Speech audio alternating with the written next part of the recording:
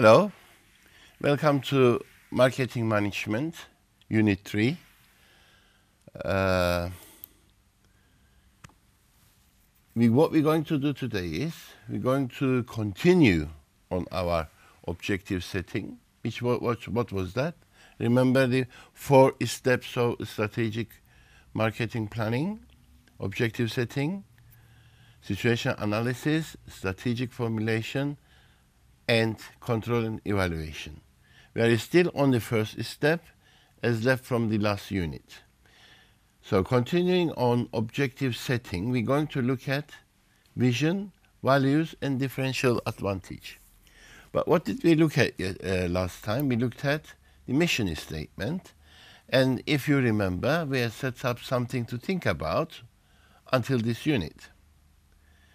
The question was that we were supposed to think about what's the mission or the definition of the business of a bank?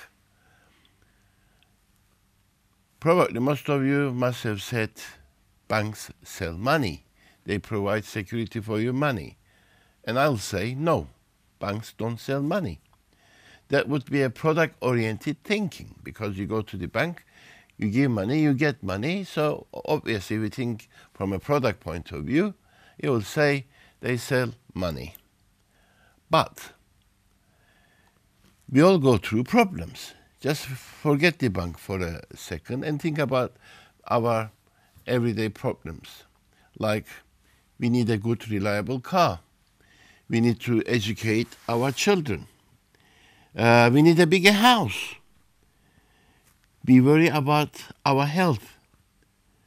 We like to go shopping uh, without the need of cash you may get short of cash when you want to buy something, and it can be a bargain, and you may lose that bargain if you don't have enough cash. Or worse, you may get embarrassed if you don't have enough cash at the till when you are in a shop or in a supermarket. Now, for all these, banks offer us different products. What do they use? What do they offer us?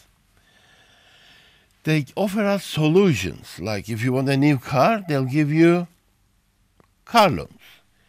If you want to buy yourself a music set, a new uh, smart telephone, or something else, they'll give you personal loans. If you want to uh, buy a new house or extend your existing one, they'll give you a mortgage.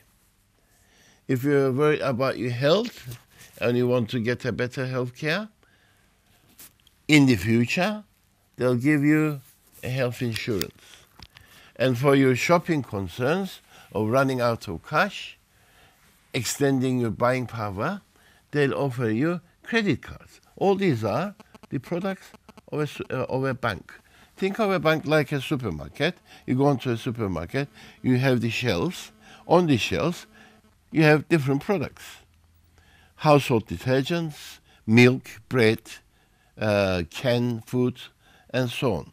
So when you go to a bank, the shelves include these car loans, credit cards, checkbooks, personal loans, mortgages, insurances. These are all little package products. So why do we need a bank?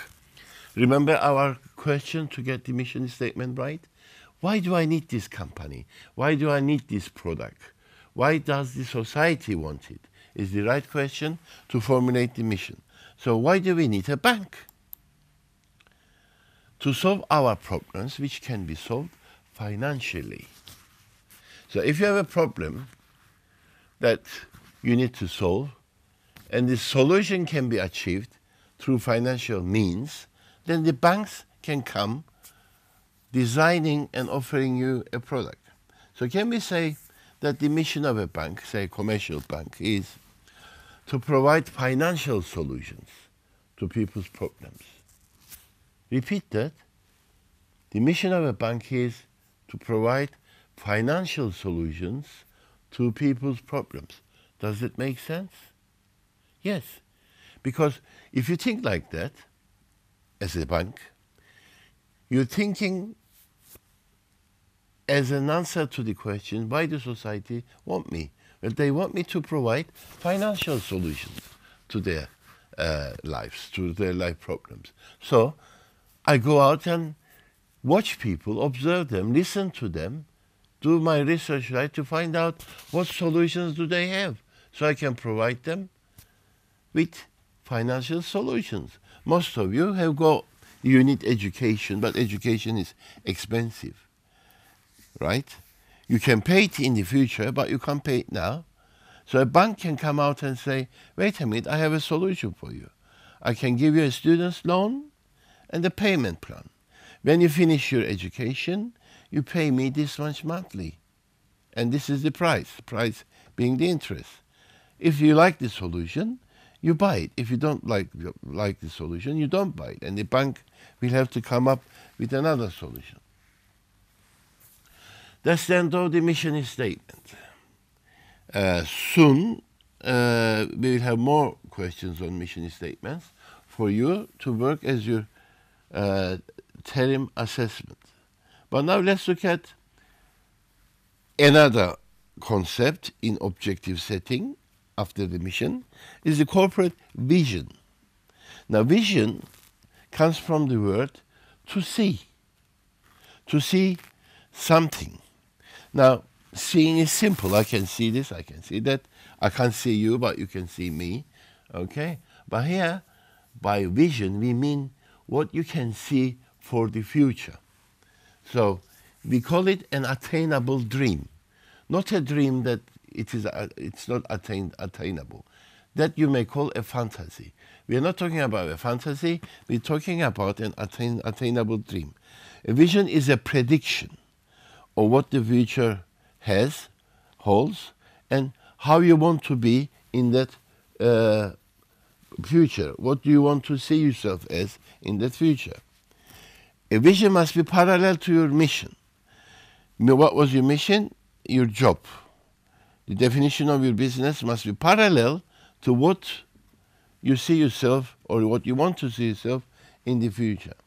A vision must be simple to understood. Why? As a vision activates people. It motivates them.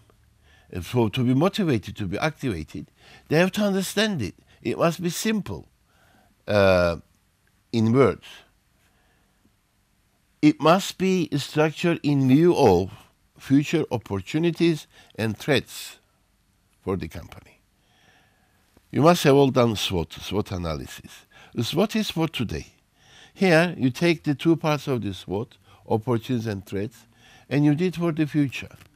You do it for strengths and weaknesses as well, predicting what they will be, thinking about what you can do. And then in that future situation, you have a dream. This is where I want to be. Of course, it's, it's easier said than done. Let's look at how we do it. So let's go back to our petrol station.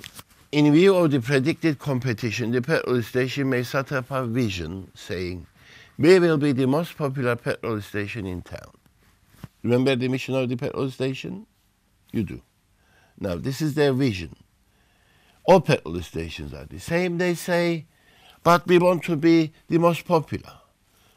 Notice, not the biggest, but the most popular. Or, in the view that uh, people are concerned about the environment, a petrol station may say, we will be a green petrol station. We'll be the greenest, not blue, green. Green means, so if they say we will be a green uh, petrol station, then all the workers, all the management will think about green products not to sell leaded petrol. Keep it clean, keep the environment of the uh, petrol station maybe forested, treat green, uh, sell green products. Try not to put up a lot of waste uh, and maybe help the environmental groups and there will be a green station. So let's go back to the vision concept again. It means, we can say, ability to see. Ability to see. What? The future. The history has witnessed many famous people who had visions. These people have moved masses, masses of other people. because they had visions. But you only need to move your company and the stakeholders. A good vision motivates and directs people. Here are some famous visions for companies. Um, Sony's vision to be a company that inspires and fulfills your curiosity. You like that? Fulfills my curiosity. Facebook's vision, one of the newest companies and most successful, to give people the power to share and make the world more open and connected. More open and connected. I can even I can understand that. More open. I'll see the whole world. There'll be nothing hidden. And I'll be connected to that. And who will be doing this? Who will be giving me this power? Facebook. I'm not an employee, but this has inspired me as well. So it's a good vision. Twitter's vision, which must be similar, I think, to give everyone the power. Can you see? Facebook and Twitter parallel. They all both start to give people, to give everyone the power to create and share ideas and information instantly at the touch of a button without barriers, without censorship, without the barriers of technology. I will be in touch with the whole world. I'll create ideas. I'll share ideas and I will be part of that information process. Who will give me that power? Twitter. That's Twitter vision. Do you know any successful visions in, in history? Uh, the, the most famous vision that I can remember, political vision, starts with I have a dream. So, what is a vision? A dream. I have a dream that you know the rest. Okay. Now, after vision and mission, in the corporate uh, mission statement, you have to talk about values. Now, values are what makes an individual. Values are what makes a company. Values are what makes a society.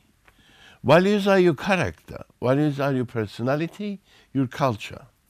Values direct you. Values direct you, motivate you, you, your family, your company, and the whole society. Change a value, and many things can change in society. Now, let's look at what they in a company case. In the company case, values are what they do, what they don't do. They must be designed in parallel to the mission and the vision statements. What we will do, what we will not do. Let's look more into it. Let's look at the Starbucks values as an example. Looking at examples is an easy way of understanding things. The Starbucks says, with our partners, our coffee, and our customers at our core, we live these values, they say. Hmm. What do they live? Creating a culture of warmth and belonging where everyone is welcome. So what are they saying? We do like hospitality. We are hospitable. Acting with courage, challenging the status quo, and finding new ways to grow our company and each other. So we love change, they say. Being present, connecting with transparency, dignity, and respect. So they need respect. Delivering our best in all we do, holding ourselves accounting for results. So we are responsible on what we do, they're saying. We are performance driven through the lens of humanity. So we work for humanity. We try to make people happy. This is what I understand from their values. So all this is a list of all the things they do, actually. They haven't given the things they don't. But it will tell you that the opposites of, of these statements are the things that they don't do. Now, what do these values do? Let's look at it uh, closely again. Core values are what support the vision, shape the culture, and reflect what a company values. They are the essence of the company's identity, as we said before, the principles, beliefs, and philosophy. Okay? Right. Core values also help companies in the decision making pro uh, process, don't they? If you know what to do and what not to do, you don't have to keep on looking at your planning or some uh, forms, some uh, bureaucratic documents. You know what you're allowed to do or what you want to do or what you don't want to do. We have, these are policies. We have a policy of uh, receiving com customer complaints and changing anything you buy without any question. I remember that was a company. Who was it? Marks and Spencer's, I think. You buy something, you're not satisfied by it, you take it to them, and they'll change it without asking you why you want to change it. That's a policy. That's a value, which stems from the value of we put our customers' happiness first. We put our customer satisfaction first value. Okay? Uh, core values educate clients, your customers, and potential customers about what the company is and the identity of the company, obviously. They set up your personality. Core, core values are becoming primary recruiting and retention tools. Now, what makes a company? It's people. There's Richard, uh, asked the famous director, which is more important, customers, the company, or the shareholders? S sorry, the customers, employees, or the shareholders? He said employees. They said to him, why? Aren't the customers more important? He said, no. Employees will make customers happy, and the customers will make shareholders happy. Logical. So, we want to employ good employees, and they must go with our company values. So you can use the values at interviews as well. Do you agree with these values? I want you, if you're going to work with me, this is what we want. We value this. For example, we value equal opportunity policies. Uh, do you believe in equal opportunity policies? What are they for you? Okay. Now, we go to the last concept on a typical, there are more concepts of course, but on a typical corporate mission statement, there are four concepts, uh, vision, mission, values, and competitive advantage. They also, it's also called the competitive edge or the differential advantage sometimes. Yeah. I always ask, what's the difference between a, a cat and a lion? What's the difference? Physically, one of them is bigger, you can say. Yeah, they're bigger. But structurally, as a body type, they're the same. Same type of teeth, same type of skeleton, joints, uh, agility, they eat the same. But what makes a lion a lion? Is it size? Well, what I mean to say is, anybody can be a cat. Anyone can come and copy a plan. A plan, after all, is a written document.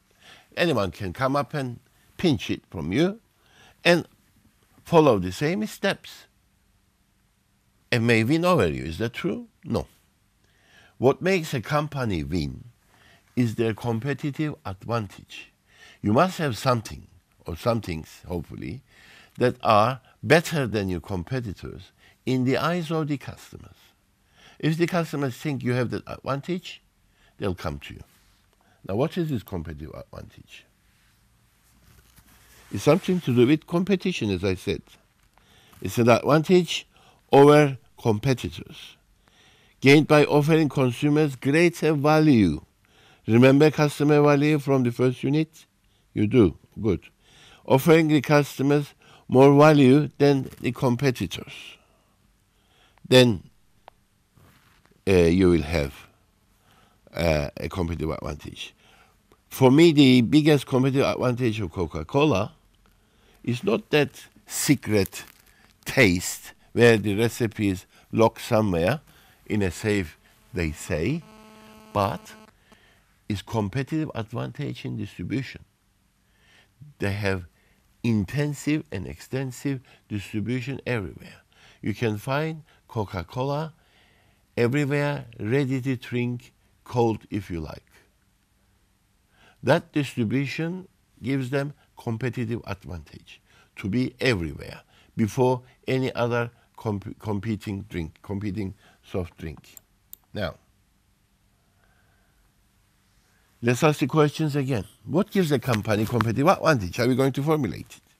What makes it stand out of competition? How should a company plan? This is the actual question. And work out for competitive advantage for itself.